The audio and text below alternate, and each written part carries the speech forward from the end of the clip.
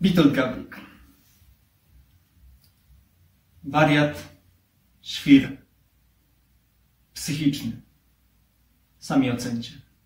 15 lat temu zachorowałem na zaburzenia schizoafektywne. Od tego czasu byłem trzy razy w szpitalu psychiatrycznym. Trzy razy byłem w głębokiej psychozie, raz w bardzo głębokiej depresji.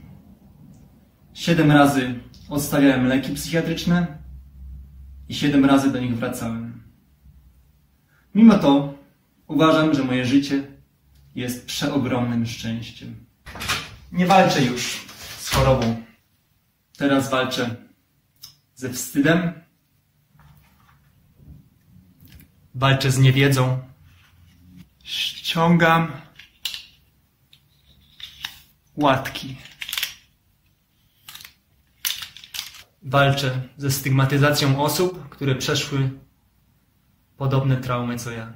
Od paru lat prowadzę amatorskiego bloga Psychiczne Pojednanie, którego chciałbym wynieść na wyższy poziom. Mam już prawie 2000 subskrypcji i społeczeństwo osób, które jednoczą się wokół tego samego problemu wykluczenia.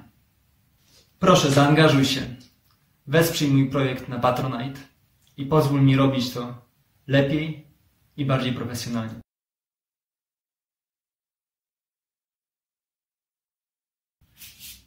Jeśli masz pomysł, jak wesprzeć mnie osobiście swoją pracą, nie wahaj się do mnie napisać. Jeśli jesteś moim widzem, dzięki.